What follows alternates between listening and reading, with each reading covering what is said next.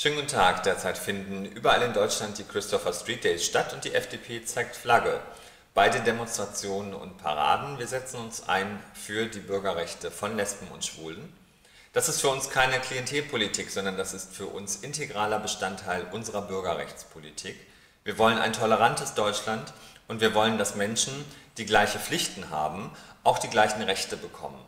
Und deshalb setzen wir uns als FDP-Bundestagsfraktion für die Gleichstellung der eingetragenen Lebenspartnerschaften mit der Ehe ein, auch bei der Steuer, auch beim Beamtenrecht und auch beim Adoptionsrecht.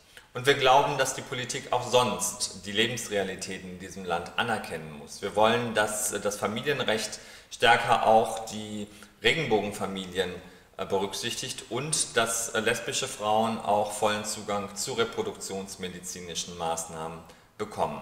Die FDP setzt sich darüber hinaus dafür ein, dass äh, auf Bundesebene eine Stiftung eingerichtet wird, um beispielsweise schwul-lesbische Toleranzprojekte zu fördern.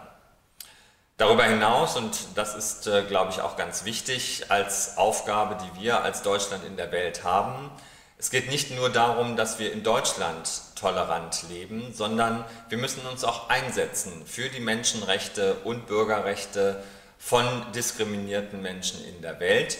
Das muss stärker Bestandteil unserer Außen- und Entwicklungspolitik werden.